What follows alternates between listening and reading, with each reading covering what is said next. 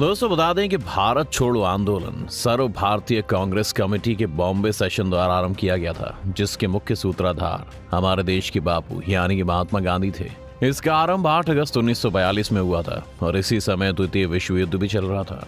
महात्मा गांधी ने इस आंदोलन में एक भाषण देशवासियों को करो या मरो का नारा, यानी संदेश दिया था। वहीं देखा जाए तो इस आंदोलन का मुख्य लक्ष्य अंग्रेज़ी शासन से मुक्त कराना था। इस समय देश में कुछ लोग ऐसे भी थे जो भारत छोड़ो आंदोलन का समर्थन नहीं करते थे। इसमें Muslim League, Indian Imperial Police, British Indian Army और बहुत से ऐसे व्यापारी, जिन्हें द्वितीय विश्व युद्ध की वजह से बहुत अधिक लाभ प्राप्त हो रहा था। इन सभी ने तब के समय में भारत छोड़ो आंदोलन को अपना समर्थन नहीं दिया था। लेकिन फिर भी इस समय कई युवा, आज़ाद हिंद फौज और नेताजी सुभाष चंद्र बोस के विचारों से प्रभावित थे, जिसके कारण इन युवाओं ने भारत छोड़ो आंदोलन में बढ़ चढ़कर हिस्सा लिया। वहीं देखा जाए तो इस भारत छोड़ो आंदोलन के ज़रिए पहली बार अमेरिका का समर्थन प्राप्त हुआ।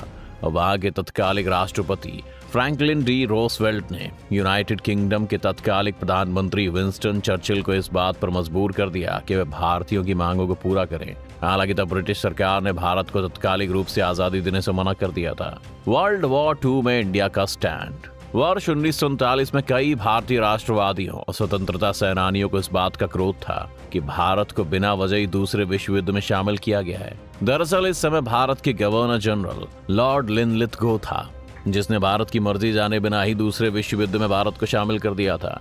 वहीं मुस्लिम लीग इस युद्ध में भारत के शामिल होने का समर्थन कर रहा था, किंतु उसी जगह कांग्रेस इस मुद्दे पर दो भागों में बटी हुई थी। इसलिए युद्ध के समय कांग्रेस के वर्किंग कमेटी की बैठक ने तय किया था कि इस वर्ल्ड वॉर में भारत का योगदान रहेगा, किंतु इस पर भारत को भी आज़ादी मिलनी चाहिए। हालाँकि अहिंसात्मक विचारों से प्रभावित होने की वजह से हमारे बापू, यानी कि महात्मा गांधी ने इसका समर्थन नहीं किया था। महात्मा गांधी किसी भी तरह की युद्ध में शामिल नहीं होना चाहते थे। इस वजह से कहा यह भी जाता रहा है कि भारतीय नेताओं और सैनिकों में मतभेद युद्ध में भी चलता रहा है। लेकिन फिर एक समय ऐसा आया, जब बापू को लगा कि अंग्रेज़ सिर्फ़ हमारे भारतीय सैनिकों का यूज़ कर रहे हैं तो उन्होंने करो या मरो का नारा दिया। और ये सब कुछ भारत छोड़ो आंदोलन के दौरान ही हो रहा था। दोस्तों, ये वही आंदोलन था जिसे अब अंग्रेज़ों को समझ आ गया था कि भारत में टिकना अब हमारे लिए मुश्किल है, क्योंकि भारत के मुखिया, यानी कि बापू ने अपनी अंतिम लड़ाई का बिगुल फूंक दिया है। इसके बाद फिर क्या पूछना था? इस आंदोलन से रेलवे स्टेशनों, दूरभाष कार्यालयों, सरकारी भवनों और अन्य स्थानों तथा प्राइवेट सेक्टर के संस्थानों पर बड़े स्तर पर हिंसा शुरू हो गई थी। इसमें तोड़ फोड़ की ढेर सारी घटनाएँ हुई और सरकार ने हिंसा की इन गतिविधियों के लिए गांधी जी को उत्तरदायी ठहराया और इन आंदोलन के सभी प्रमुख नेताओं को गिरफ़्तार कर जेल में डाल दिया गया। इंदिरा गांधी जी भी एक ही बात पर लेकर अड़ गए थे कि अब तो देश को आज़ाद करवाना ही है। और इस बात को अंग्रेज़ भी बहुत अच्छी तरह से जानते थे कि आंदोलन देश के राष्ट्रपिता महात्मा गांधी की ओर से चलाया गया है। वहीं एक तौर पर देखा जाए तो बापू ने इस आंदोलन की शुरुआत अखिल भारतीय कांग्रेस समिति के मुंबई अधिवेशन से की थी। करो या मरो आंदोलन में गांधी जी और उनके समर्थकों ने यह स्पष्ट कर दिया कि वे युद्ध के प्रयासों का समर्थन तब तक नहीं देंगे जब तक कि भारत को आज़ादी न दे दी जाए। उन्होंने स्पष्ट किया कि इस बार यह आंदोलन बंद नहीं होगा। उन्होंने सभी कांग्रेसियों और भारतीयों को अहिंसा का साथ करो या मरो के ज़रिए अंतिम आज़ादी के लिए अनुशासन बनाए रखने के लिए भी कहा। लेकिन फिर ऐसा क्या हो गया कि गांधी जी को नजरबंद कर दिया गया? बता दें कि आंदोलन की शुरुआत होते ही अंग्रेज़ों ने सख्ती दिखाते हुए गिरफ्तारियाँ शुरू कर दी। आठ अगस्त को आंदोलन शुरू हुआ और 9 अगस्त 1942 को दिन निकलने से पहले ही कांग्रेस वर्किंग कमेटी के सभी सदस्य गिरफ़्तार कर लिए गए थे। साथ ही उसी दौरान अंग्रेज़ों ने कांग्रेस को गैर कानूनी संस्था भी घोषित कर दिया था। यही नहीं, इसके बाद मामले को दबाने के लिए अंग्रेज़ों ने गांधी जी को अहमदनगर किले में नजरबंद भी कर दिया था, जिसके बाद जब भारतीयों और स्वतंत्रता सेनानियों को इसके बारे में मालूम चला तो उन्होंने आगजनी, दंगे और विरोध करना शुरू कर दिए। बता दें कि एक सरकारी आंकड़ों के अनुसार इस जन आंदोलन में 940 लोग मारे गए थे और 1630 घायल हुए थे, जबकि साठ हज़ार दो सौ उनतीस लोगों से अधिक गिरफ्तारी भी हुई थी। हालाँकि अंग्रेज़ों की दमन नीति के बाद भी आंदोलन नहीं रुका और लोग ब्रिटिश शासन के प्रतीकों के खिलाफ प्रदर्शन करने, सड़कों पर और अधिक संख्या में निकल पड़े। इसके बाद ही देखते ही देखते उन्होंने सरकारी इमारतों पर कांग्रेस के झंडे फहराने शुरू कर दिए। कुछ लोगों ने खुद से गिरफ्तारियाँ देना और सामान्य सरकारी कामकाज में रुकावट उत्पन्न करना शुरू कर दिया। वहीं विद्यार्थी और कामगार हड़ताल पर चले गए, जबकि वही बंगाल के किसानों ने करों की बढ़ोतरी के खिलाफ एक और संघर्ष छेड़ दिया। सरकारी कर्मचारियों ने भी काम करना बंद कर दिया। ऐसे में भारत की आज़ादी के लिए एक ऐतिहासिक क्षण था, क्योंकि भारत छोड़ो आंदोलन के दौरान ही डॉक्टर राम मनोहर लोहिया, जयप्रकाश नारायण और अरुणा आसिफ अली जैसे नेता उभर कर सामने आए और देश को एक नई दिशा की ओर ले गए। आंदोलन से संगठित हुआ देश। वहीं इस आंदोलन को अपने उद्देश्य में थोड़ी कम सफलता शुरुआत में मिली तो थी, लेकिन इस आंदोलन ने 1943 के अंत तक भारत के लोगों को संगठित कर दिया था। और इसी वजह से आंदोलन के अंत में ब्रिटिश सरकार ने संकेत दे दिया था कि सत्ता का हस्तांतरण कर उसे भारतीयों के हाथ में सौंप दिया जाएगा। इसलिए गांधी जी ने भी आंदोलन को बंद करने का फैसला किया, क्योंकि ज़्यादातर क्रांतिकारी जेलों में बंद हो चुके थे। गांधी जी ने जब आंदोलन को औपचारिक रूप से बंद किया तो कांग्रेसी नेताओं सहित लगभग एक लाख राजनीतिक बंदियों को रिहा कर दिया गया।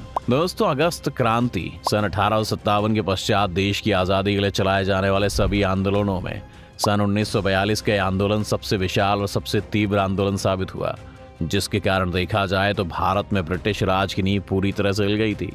वहीं आंदोलन का ऐलान करते वक्त गांधी जी ने भी कहा था कि मैंने कांग्रेस को बाजी पर लगा दिया है। और ये जो लड़ाई छिड़ रही थी, वो अब एक सामूहिक और देश की आज़ादी की लड़ाई है। लेकिन अब सवाल खड़ा होता है कि गांधी जी के इतने मेहनत और लगन के बावजूद क्यों कुछ संस्थाएँ उनका विरोध कर रही हैं, जब सारा देश एकजुट था? चलिए जरा हम ये भी जान लेते हैं। बता दें कि भारत छोड़ो आंदोलन का विरोध देश की ही कई अन्य राजनीतिक संस्थाएँ कर रही हैं। इनमें मुख्य संस्थाएँ थी मुस्लिम लीग, हिंदू महासभा, राष्ट्रीय स्वयंसेवक संघ। भारतीय कम्युनिस्ट पार्टी और कुछ देशी रियायतें शामिल थीं। मुस्लिम लीग। मुस्लिम लीग का कहना था कि यदि तत्कालिक समय में ब्रिटिश भारत को इसी हाल में छोड़ के चले जाते हैं तो भारत आज़ाद तो हो जाएगा, लेकिन मुस्लिमों को, हिंदुओं के अधीन, यानी कि उनकी छत्रछाया में रहना पड़ेगा। साथ ही मुस्लिम हिंदुओं के द्वारा दबा दिए जाएँगे और उनकी आवाज़ें फिर कभी बुलंद नहीं हो पाएँगी। इसलिए मोहम्मद अली जिन्ना ने गांधी के सभी विचारों को मानने से इनकार कर दिया। बस यही एक कारण था कि युद्ध के समय एक बड़ी संख्या में मुस्लिमों ने अंग्रेज़ों का साथ दिया। लेकिन कुछ मुस्लिम अब भी देश की आज़ादी के लिए अपने बलिदान देने को तैयार थे। हिंदू महासभा, हिंदू राष्ट्रवादियों ने भी इस आंदोलन का खुलकर विरोध किया और औपचारिक तौर पर किसी भी तरह का समर्थन नहीं दिया। इन्हें भारत के विभाजन से परेशानी थी और ये एक छत्र अखंड भारत चाहते थे। बता दें कि इस संगठन के अध्यक्ष विनायक दामोदर सावरकर, श्यामा प्रसाद मुखर्जी आदि ने महात्मा गांधी के विचारों के साथ से इनकार कर दिया।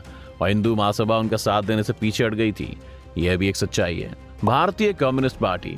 भारतीय कम्युनिस्ट पार्टी ने भी इस आंदोलन में अपनी सहभागिता दर्ज नहीं कराई थी। युद्ध और आंदोलन के समय भारत में ब्रिटिश सरकार ने कम्युनिस्ट पार्टी पर बैन लगा रखा था, क्योंकि कम्युनिस्ट पार्टी के लोगों ने अपनी पार्टी से बैन हटाने और सोवियत यूनियन को जर्मनी के विरुद्ध युद्ध में मदद करने के लिए ब्रिटेन सरकार की मदद की और बाद में ब्रिटिश सरकार ने कम्युनिस्ट पार्टी से देश में बैन हटा लिया। ऐसे में देखा जाए तो ये एक भारतीय कम्युनिस्ट पार्टी का सौदा था। राष्ट्रीय स्वयंसेवक संघ। राष्ट्रीय स्वयंसेवक संघ द्वारा भी भारत छोड़ो आंदोलन का समर्थन नहीं दिया गया था। और भारत छोड़ो आंदोलन में हिस्सा ना लेने की वजह से इस संस्था को आम लोगों द्वारा और इसके कुछ नेताओं द्वारा संघ को एक नाराज़गी की नज़र से देखा जाने लगा। भारत छोड़ो आंदोलन, भारत से ब्रिटिश सत्ता को हटाकर आज़ादी लाने के लिए था। किंतु इसी समय संघ का कोई भी योगदान भारत की आज़ादी की लड़ाई में नहीं देखने को मिल पा रहा था। अतः लोगों में नाराज़गी होनी आम बात थी। तो दोस्तों, ये थी कहानी भारत की आज़ादी में सबसे अहम योगदान रखने वाले आंदोलन की। आपको कैसा लगा हमें कमेंट सेक्शन में ज़रूर बताइएगा। साथ ही वीडियो को लाइक करके चैनल को सब्सक्राइब करना बिल्कुल ना भूलें।